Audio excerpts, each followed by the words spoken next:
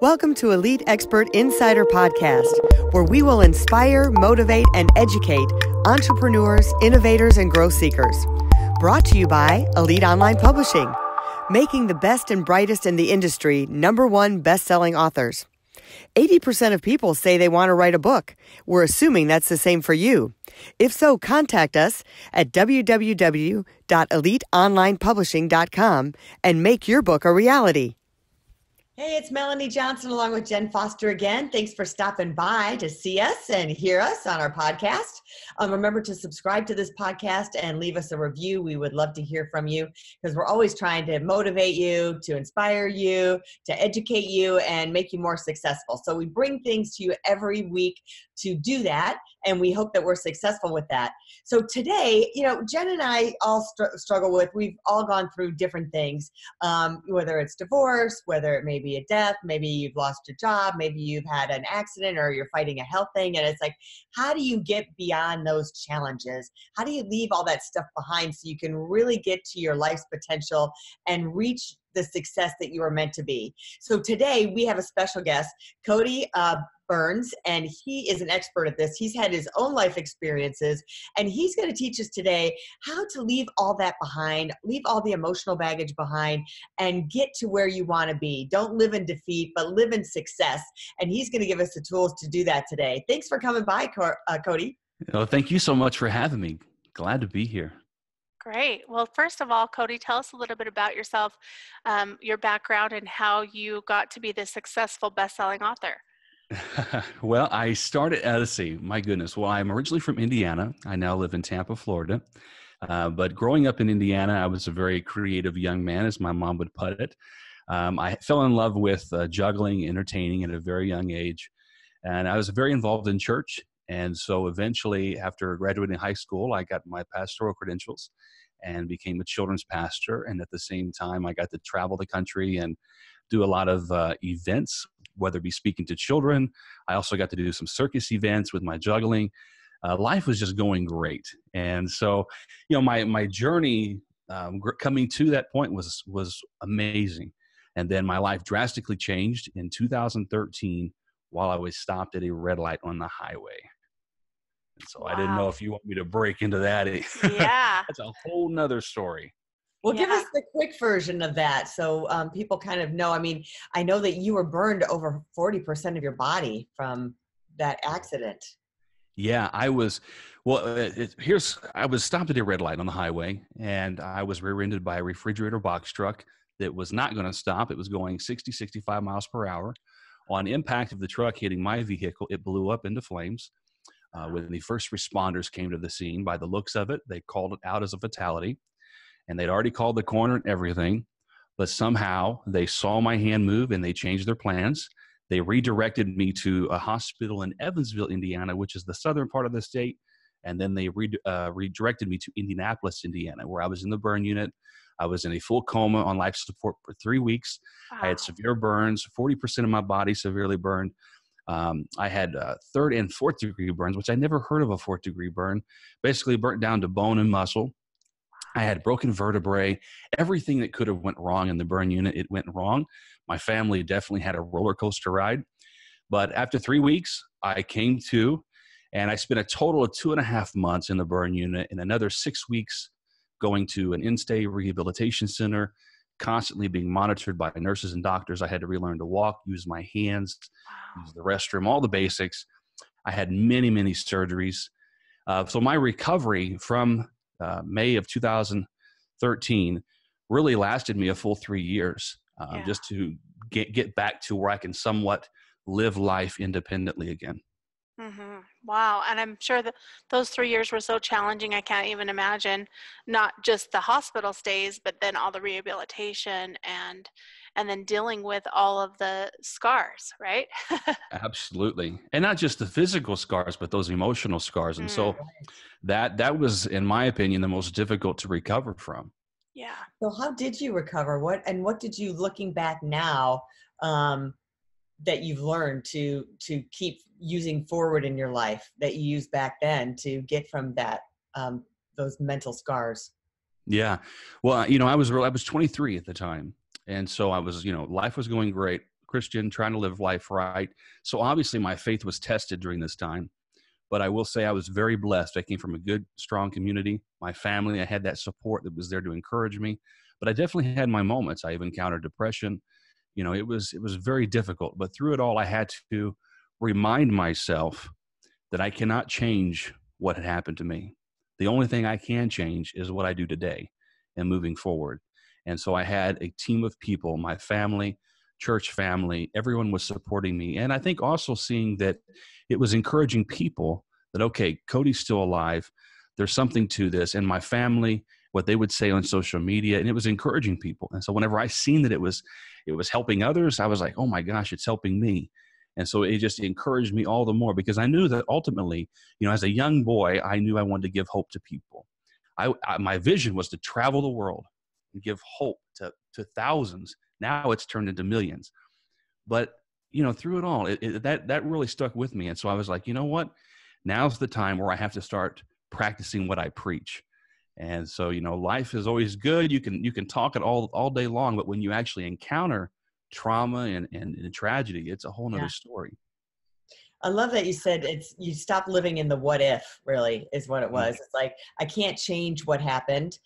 So I think people get stuck in the well, what if I would have just done this or what if it would have done this or they hadn't have done this and then they get stuck in there and they can't move on and they're they're stuck in that defeat. So I really like that. And then you saw the bigger purpose of, you know, my life is meaning beyond myself. Um, that's been like my big epiphany the last couple days is beyond us you know everything is really beyond us. It's not just about us right? There's this bigger picture of all the other people that you affected during that. Um, what do you tell people when they're going through something and they're wanting to move beyond this? And you've got some of this in your book. What do you tell them that they should be doing? Yeah i mean i kind of sum, sum it up into four steps. And obviously these steps can be long and more detailed in between. But i think it begins with embracing your current reality. And once again understanding that you cannot change what happened but you can change your today. And it's difficult. I mean if you look at the 12 step process you know the first step of overcoming a problem is admitting that you have a problem. Right. and so it's kind of like in this situation i have to okay this is my reality. What can i do moving forward? So then i have to take control of my reality. Taking control involves getting that support system, taking those uh, steps that you need to overcome, to rise above, and then just trusting the process and being persistent and knowing that you know my recovery it didn't it didn't come overnight. And i had to i had to relax take deep breaths and know and ultimately encourage myself and know that okay i'm going to get there. There is light at the end of this tunnel. And then number four just be confidently you. Be confident in yourself. Be confident in the story that you have and the message and the value that you can give to others. I love that. I love that you talk about the support system because I think a lot of times, especially in this day and age, everyone thinks, "Oh, I can do it myself. I can do it. I can. I mm-hmm. have enough. You know, I can do it myself." But in reality, you do need that support. You need you do need to have that team of support, a system, so that you can not just be by yourself. Right? Absolutely. Well, and some people don't have that support system. So, what do you tell people that are kind of loners or they don't have a family or not connected to their family or church? Um, where do they begin? Yes, and I and I tell and I tell people this because I, have had that. It's a, it's a very popular question. You know, I think ultimately, us as individuals, we have to understand we are in control of our life. It all boils down to we we make the decisions of what we want to do and what we want to happen. There are people in today's world. There is so much available to us. And I think us as individuals are eh, put in that place to establish that good support system that we that we need. We can find those, that good support system. Whether if it's not your family, there's other people. There's groups out there. There is there is tools, resources that you can grab a hold of. And so ultimately, there really that can't be an excuse for us because yeah. in today's world there is so much at our fingertips reach out grab a hold and you're not alone. I think that's a powerful thing. You're not alone in your circumstance. Understand that you know in my as a burn survivor it really expanded my vision of seeing that oh my goodness there's all kinds of survivors. There's children there's adults going to these burn conferences immersing yourself in that environment. And i think it's powerful. Yeah i think it kind of comes down to number four what you said was Kurt with uh, with courage and confidence, right? So if you, you can sit yeah. behind your computer or or stay home and complain about how you're always alone or you can check out the groups on facebook check out the groups on meetup actually physically go and meet people at those conferences or you know thinking about the things that you're interested in whether it's hiking or or the different things that aren't related to the thing that you're upset about right the, the the trial that you had to go through, but something else that you're interested in, and actually get out there and meet those people who can potentially become your friends and your support system. Absolutely. Any last thoughts that you can give us, uh, Cody, um, from your book for to help people out? Oh my goodness! Well, there's so many. Uh, you know, I always tell people, you know, I have I have scars, and whether it be physical or emotional, a scar in itself doesn't have to be a bad thing a scar does become a bad thing when it limits our mobility in life in our pursuit of accomplishing our goals and dreams. And I just want to encourage everyone to not allow what happened yesterday to limit what could happen today, the good things, the blessings of today. Move forward and know that there is a life of freedom, freedom that you can live and the hope that you can give to others. Look outside yourself once again. You know, my whole life, I don't live for myself, I live for the people around me. I want to make a true impact, and I encourage everyone to do so. Wonderful. Thank you. Thank well, you. tell us where we can find you and people can get in touch with you. Yes, you can go to my website. It's Cody Byrns. Go figure. The last name is very ironic, I will say, but it's it's Cody Byrns, C O D Y B Y R N S dot com. Uh, expert. Uh, let's see. I yeah, elite expert insider. That's so it's codybyrns.com slash Elite Expert Insider. I wanted to get that right. Perfect. So, do you have a bonus there for people and it's something special for it?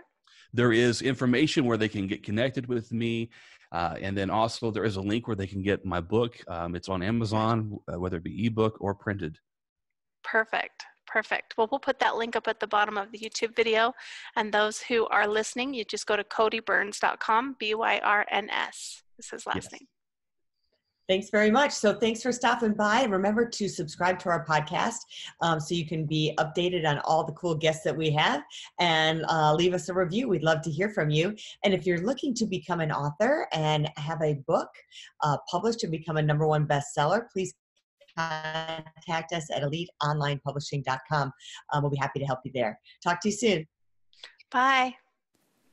If you'd like to create the most powerful advertising tool for your business, contact us at eliteonlinepublishing.com, where we will help you create, publish, and make your book a number one bestseller and show you how to get new leads and more revenue for your business. If you'd like to check us out on our Facebook page, we have a free book for you as our gift. Just go and click free book. Remember to subscribe and leave a comment for our podcast. We would love to hear from you.